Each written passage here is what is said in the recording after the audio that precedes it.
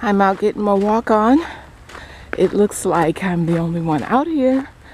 I see some feet print that came through a while ago. But they said on the news it was going to be very slippery. So I was a little hesitating about coming. But it's not slippery at all. Uh, that's my my walk talking.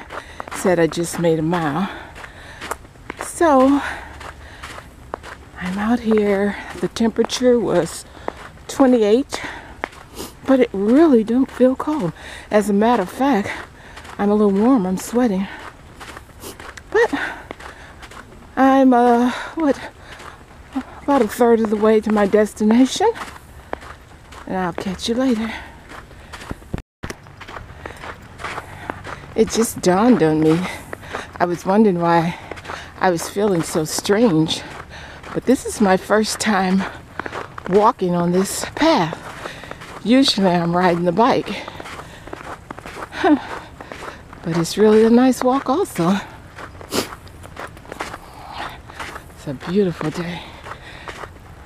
You know, I think people let different things get in their head because when I said I was going for a walk, a couple of my friends, oh, it's too cold to walk. But you can't let those things stop you. You get out there and you'll find out it's not as bad as you think.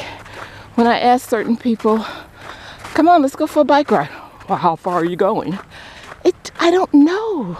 I'll go until I feel like turning around. Or if you feel like turning around, whichever comes first. So don't let things get in your head. Get out there and get your exercise. Peace and love. This is Lady P. I'm out.